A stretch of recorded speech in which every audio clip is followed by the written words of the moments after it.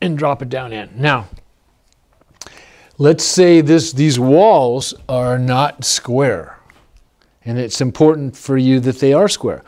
A simple trick I do is I just throw a framing square on my cleats and I read what the framing square does and I duplicate that on my um, piece of shelving. And I do the same, and then I measure. Once I've gotten that, right, once this thing is, say, slightly out of square, I'm going to grab a framing square.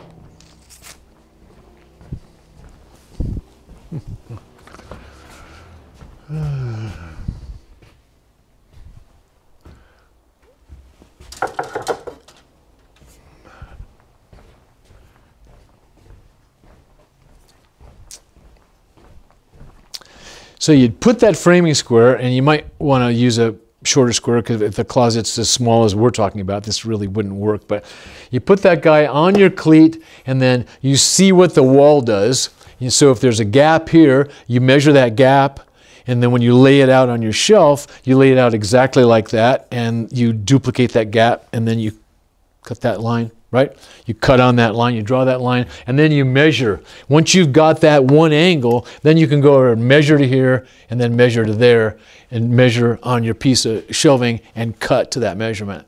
So you really have to do this. You don't have to do it on both sides. You only have to do it on one, okay? Hopefully you got that.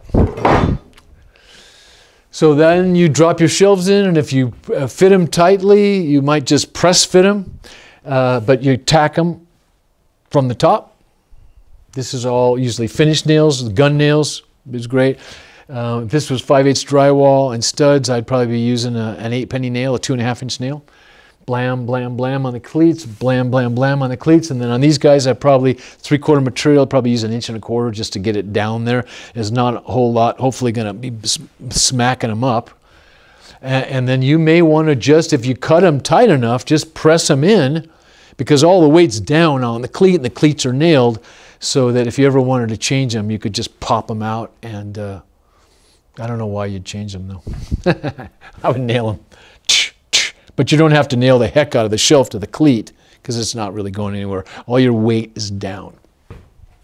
So that's cleated shelving into a framed and drywalled opening.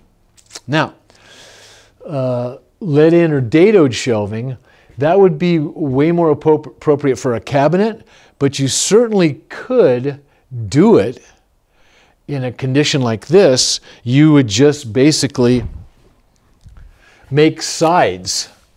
You'd, you'd make a plywood side or MDF side for both sides of your wall. So this would be a, a whole side, right? You'd cut that whole side. You don't need anything for the back, and then and then on that side you could um, you could do let-ins and just slide your shelving in. So, in other words, you do the shelving would have a let in everywhere your shelf was. And the corresponding let in or a uh, dado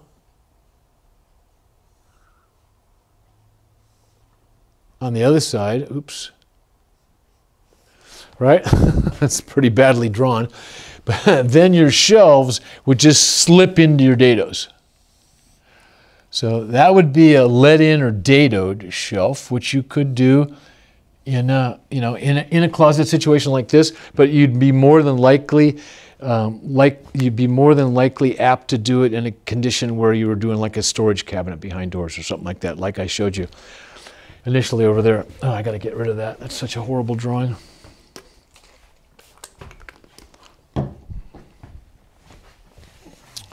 Okay, so that's fixed is the shelving you're going to use for uh, storage closets, linen closets, stuff like that. Cleated fixed, it's the way to go. It's the most economical, it's the fastest, it looks clean as a whistle. Um, butted and fastened now that would be something like, when I say butted or fastened on a fixed shelf, that would be if you had um, a cabinet, right? Cabinet side and a cabinet side. and you had a shelf, you could just butt it. You don't have to put it in a, you don't have to cleat it. You don't have to put it into a dado to lock it in, which makes it blind. And then you just nail or screw it from the back.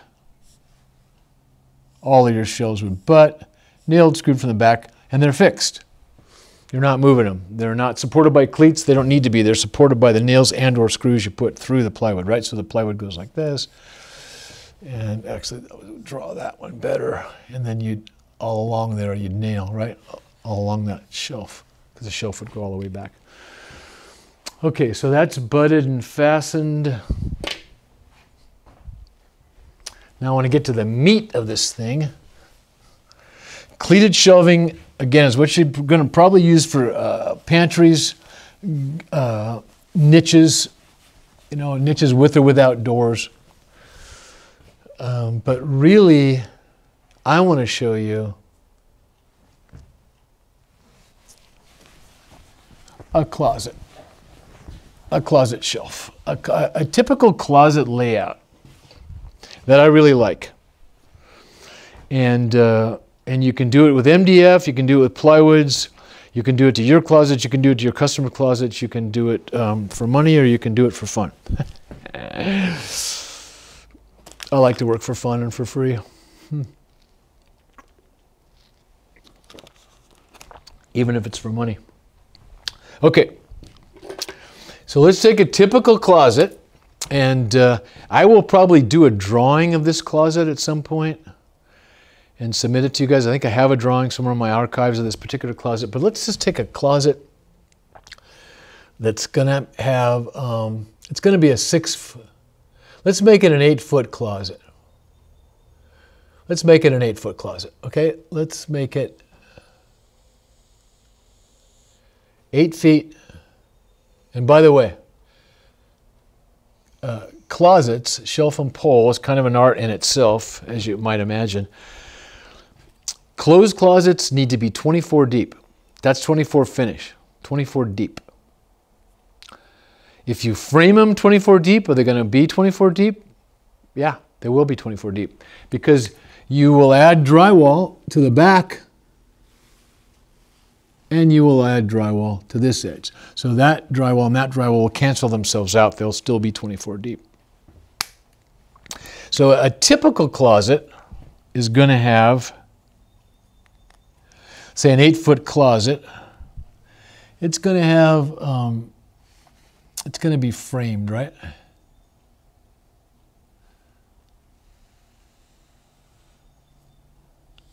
In two by fours.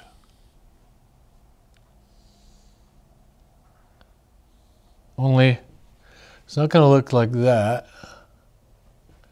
It's going to more than likely come in with a couple of, at least a stud and a trimmer, at least. It's to look more like that with a stud and a trimmer. All right, but let's say uh, let's say the eight the back wall is eight feet, ninety six inches, and then the opening. Let's say you're going to lose.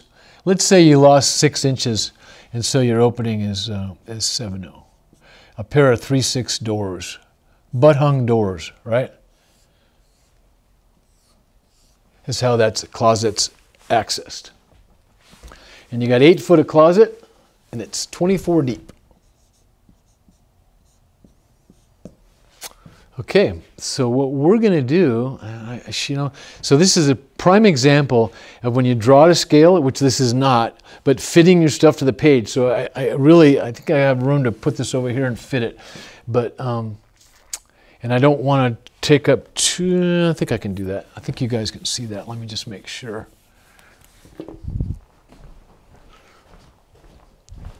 Yeah, okay.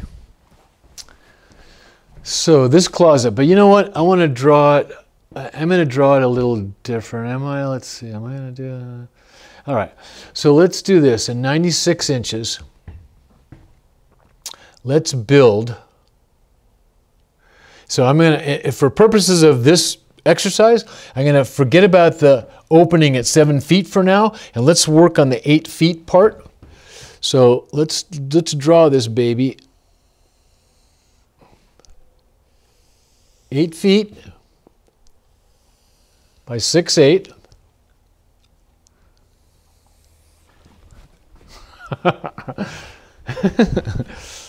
uh, okay, let's get it little. Let's get a little better level.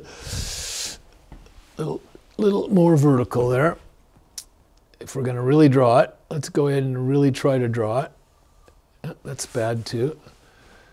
It's late in the day, guys. I've had a long, busy day. Started out on a job site uh, with guys doing demo, uh, digging, and busting up for footings. Okay. So there's our eight foot of available space on that back wall. And it's six eight tall, right? So um, shelf and pole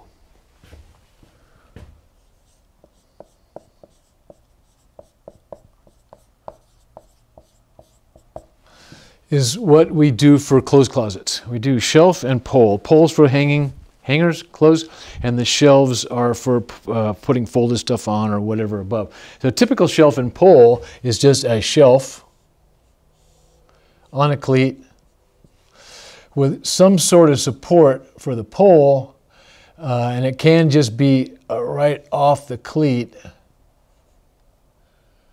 and it's at 12 inches out for the rosette, and there's your pole. And actually, your pole is down two and a quarter, so on a kind of on a hook strip cleat, and I'm going to tell you about hook strip in a minute. Your rosette would be there. So that'd be your pole, and that's supported by rosettes on either side, and it may have a corbel support. It may have one of those um, those brackets that you can buy, those metal brackets. So shelf above, uh, hangers go on the pole.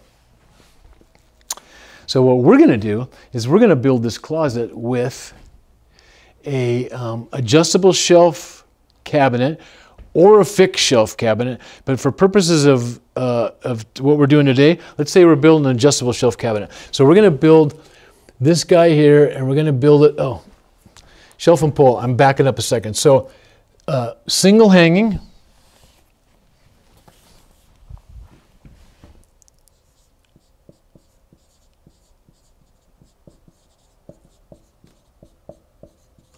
Single hanging equals 66 inches. The top of pole, top of pole, top of cleat, uh, doesn't matter. It, it's close enough. 66 inches double pole. I like 40 and 80, but 39, 78 does it. As low as 36, 72 does it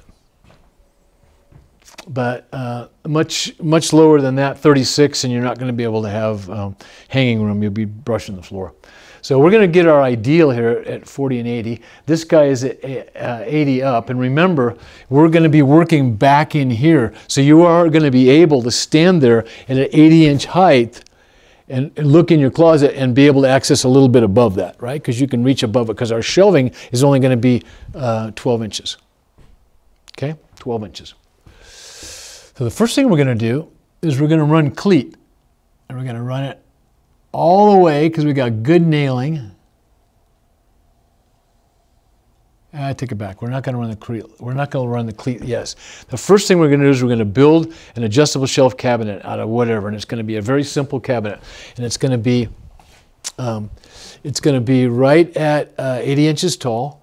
So it's going to be right at that height. It's going to be right in the middle, center line, and it's going to be a 32 inch cabinet.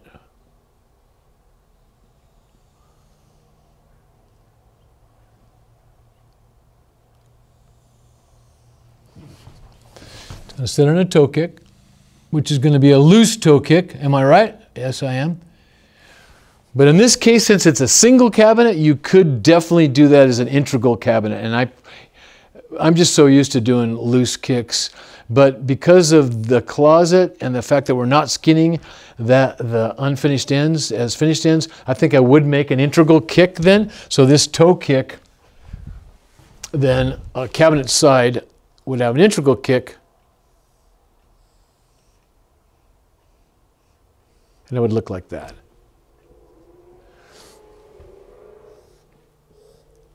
Thirty-two inches.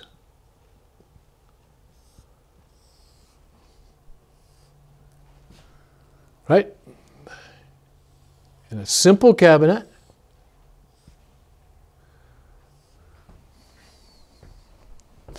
with uh, fixed or adjustable shelves.